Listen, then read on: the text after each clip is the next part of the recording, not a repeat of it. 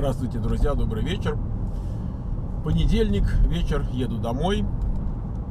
А понедельник у меня, если вы помните, это такой день, когда аппойтментов э, заранее назначенных нету, а есть довольно много общения такого помимо того. Вот, в частности, две книжки сегодня подарил разным людям. Там они заходили из прошлой жизни, можно сказать, там из разных обстоятельств. Э, заходил поболтать человек, с которым мы учились на одном э, курсе, только на разных факультетах. Вот, он тут был на большой должности, там, senior project менеджером в громадной мобильной конторе. Мы вообще железячники, мы, мы люди, так, связисты, в общем-то. Хотя он когда-то и кодировал тоже там, э, embedded э, системы делал, firmware, вот такие, помоложе когда был. Ну, в общем, не суть.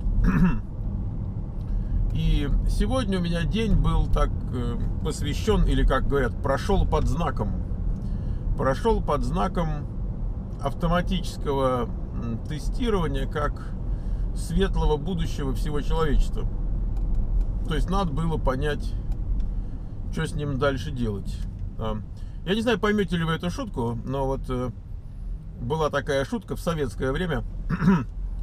Э, рабы древнего Рима восстали под лозунгом «Да здравствует феодализм! Светлое будущее всего человечества». Да, ну, не суть. Так вот, значит, кто понял, молодец. И я вот тоже думал о светлом будущем всего человечества. И, в общем, пришел к некоторым выводам. Поэтому я выводы пока не буду оглашать, там до дела дойдет. Вот, но стал я вспоминать динамику, знаете, все-таки школе нашей больше 20 лет уже, с августа 94 -го года. И вот я вспоминаю, как менялся уровень нашего студента. Вот они приходили, и у многих не было компьютера. Я уж про английский вообще не говорю, это отдельная история. Мы учили по-русски там первые пару лет но компьютеров не было у многих. Это было не, не. Знаете, компьютер стоил 1000 долларов. И в 94 году 1000 долларов это было очень прилично. Особенно с учетом того, что э, народ бедствовал просто не, не, невероятно. И 1000 долларов были большие деньги. Но во всяком случае, вот они спрашивали, а можно, скажите, а можно вот у вас учиться? Без того, чтобы дома был компьютер. Я говорю, нет, никак нельзя. Вы не сможете учиться, не сможете искать работу. Компьютер нужен. Я говорю, ну возьмите у кого-то, кто вам одолжит, может, там на, на несколько месяцев. Ну, так как? Э, потом, вот, я помню, мы боролись с тем, что некоторые не знали, как дискетку вставить. Тогда были такие дискетки, там, 3,5 дюйма. Э, вот. Хотя, по-моему, сначала были 5, 5,25, потом уже появились 3,5. Да, это все на наших, на моих глазах происходило не знали какой стороной. Вот, потом чуть позже, уже году в 98-м, в 99-м, уже компьютеры у всех были, уже э, все были за рулем, так вот, так что без машины это редко было у кого-то. Но вот, например, я многих заставлял физически, просто я настаивал, чтобы они завели адрес электронной почты, потому что не было ни у кого. А что им? Зачем ему электронная почта? Вот что он с ней такое должен делать? Понимаете? Вот. И народ заводил адрес электронной почты. Я им говорю, послушай, ты в ты ищешь работу тестировщиком, ты не можешь сказать, у меня нет электронной почты, звоните мне по телефону. У тебя есть адрес электронной почты. Вот пойди и заведи. На Hotmail там, на чем тогда был, если бы, Yahoo, там потом Google появился, Gmail. Вот. Э, у меня даже была такая прибаутка. Говорят, что? Как понимать, что вот э, без мыла пролез в тестеры? Вот, значит, у него не было а, адреса электронной почты, но он нашел работу, несмотря на это. Вот называлось бы, встать, влезть без мыла в тестеры. Ну, что еще было? Какие были глубины падения? Эм, даже трудно сказать. Э, было время, когда народ не пользовался смартфонами. Это еще не так давно было. И я вроде там подкалываю, но с другой стороны, я сам смартфоном хоть и давно пользуюсь, но не изобильно. То есть я так самыми базовыми фишечками, потому что я на самом деле сижу целый день у компьютера, и мне как бы, ну, только как в крайнем случае, только там, если позвонит, может, то так. Я, я довольно мало сам пользуюсь. Ну, правда, я и не собираюсь там быть тестером. Вот. А, плюс я, в принципе, владею неплохо, просто мне влом это все. Вот. Но сейчас что получается? Сейчас приходит народ, который э, по тамошним временам, по тогдашним временам, это было что-то вообще немыслимое. Приходят люди, у них смартфоны, у них там лэптоп тут, станция там, у них там Mac э, есть у него, и этот есть у него, не там еще что-нибудь у него есть. И они такие все компьютеризованные, как я не знаю что. А я уж про молодых я вообще не говорю. То есть они уже родились там с каким девайсом в коляске их возили.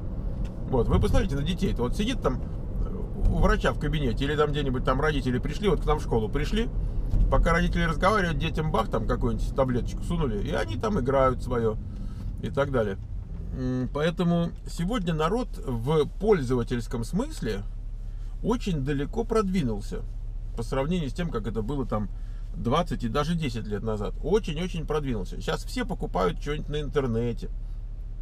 Все умеют э, делать поиск там э, в Гугле там или еще где-то. Я, я не хочу сказать все, в смысле вообще все, но я имею в виду те, кто к нам приходит, более, более-менее приходит.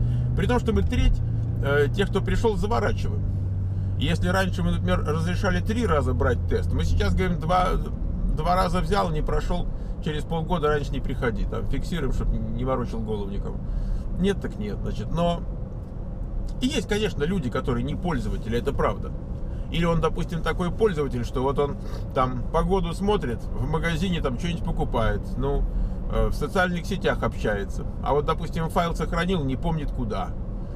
Или, понимаете, да, вот там такие как бы навыки пользовательские, но очень такие поверхностные. А там как только до файла дойдет, я уже не говорю там Windows переустановить, боже мой. Кто в этом мире переустанавливал Windows там из, из пользователей? Но все-таки. Я уж не говорю там про виртуальную машину, это вообще уже там какой-то суперспециалист. Хотя, тем не менее, есть очень и очень продвинутый народ, и в этом смысле тоже пользовательский, не, не профессиональный там и так далее. Очень много стало людей, которые в колледжах, или там в каких-то других формах а, учебных заведений брали какие-то классы более, ну, менее компьютерные. Кто-то там Java брал, кто-то брал там базы данных, SQL, а, кто-то Unix там какие-то вот, знаете, то есть люди, которые успели в Америке уже пожить несколько лет, вот они приходят какие-то классики даже брали. То есть, в общем-то, смотришь так, ничего. Я уже не говорю о том, насколько лучше стали говорить по-английски. Ну, вы, правда, и перестали брать особо таких, кто не очень хорошо говорит, но но приходит нормально разговаривающий. Сейчас, сейчас нет такого потока, как был когда-то там беженская иммиграция, когда люди свалились, на велфер сели, по-английски не говорят и не спешат особо учиться. Вот сейчас, сейчас этой волны нет. Сейчас, может быть, ее немножко заменяют грин-карт лотерейщики, которые тоже вот только вот когда билет был на руках, уже узнали, что страна англоязычная. Но, во всяком случае, к нам такие не попадают. И к чему я это все, эту историю долгую? Значит, от одного к другому. Пользователь растет. Вместе с пользователем растут требования. Вот я часто слышу, говорят, ой, да сейчас такие требования, раньше таких требований не было. Это правда, но раньше и людей таких, как сейчас, не было. Раньше такой, как сейчас, вот средненький, это была суперзвезда с точки зрения пользовательских навыков. А сейчас это каждый так, ну, второй там.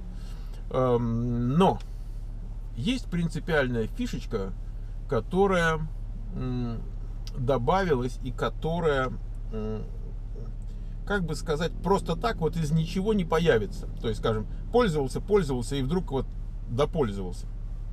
И фишечка это называется программировать.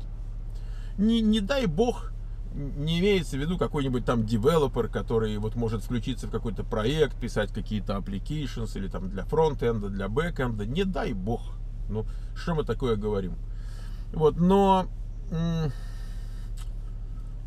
вот кодировать, там здесь на, на, на Python, не надо Java, я вас умоляю, зачем Java? Ну вот там питончик, да, значит, э, он должен писать как, какие-то там простенькие задачки, он должен знать там десяток-полтора стандартных алгоритмов, которые должен знать человек, который изучал там где-нибудь в колледже этот язычок программирования. Самое интересное, что э, допустим, из 10 работ, где они говорят automation, там Python, там еще что-то, в 8 работах у него шанса не будет ни малейшего применить эти знания. Но они хотят, чтобы было. Причем они не вообще хотят, как вот раньше они вообще хотели, пишешь, там никто и не спросит. Не-не, они спросят. Они сегодня начинают спрашивать. Во всяком случае, в Кремниевой долине так. За пределами Кремниевой долины мы видим примерно то же самое, что было здесь, скажем, там 10 лет назад. То есть нормально. Они готовы тебя подучить, там, если что, было бы желание, там. То есть нет такого, что вот уже прямо за горло схватили. Э, почему? В частности, потому что там нет, нет вообще людей. То есть, если в долину идет колоссальный приток выпускников университетов, и не обязательно выпускников вот этого года, а может быть люди уже пару лет поработали, они сюда стекаются в хорошие компании, им что-то хочется такое, э, то вот там такого нет, поэтому они имеют дело с тем, что есть на местности. А на местности, ну вот что есть, то есть. И они это то, что есть, они там готовы подучивать там и так далее. Там проще. А вот конкретно тут, в Кремниевой долине, значит, так не выходит. И, значит, мы сдвигаемся. Я думал, господи, уже 60 лет человеку, уже там о душе подумать, там, о пенсии какой-нибудь. Нифига. Значит, я теперь думаю о том, как нам быть с программированием. Так что вот э, будем соображать. Будем соображать. Ну, в общем, я вас уверяю, что мы придумаем, и вещь будет работать. Но такая, ну не халява, конечно, халявой назвать нельзя, но во всяком случае не программирующий тестер это больше не наш идеал. То есть мы, конечно, продолжаем там в каких-то объемах это делать, но, но в общем-то мы меняем э, определение того, что мы хотим делать. И так потихонечку, я думаю, что в течение полугода, максимум года, мы где-то вынырнем совсем в другом месте. Вот это для тех, кто интересуется на будущее. Поэтому, народ, изучайте матчасть. Э, сразу вопрос, а какую матчасть? Ну вот изучайте пока Python. А дальше мы добавим, мы когда определимся точно, какую матчасть, мы вам скажем. Так, чтобы вы могли уже приехать очень хорошо подготовившись. Скажем, что, и скажем, где, и скажем, как. Вот. А если не будете готовы, значит, приедете и будете деньги за это платить, чтобы вас научили. Просто все дороже будет стоить. Вот, вот собственно, и все. Хорошо, ладненько. Значит, на этом мы с вами прощаемся.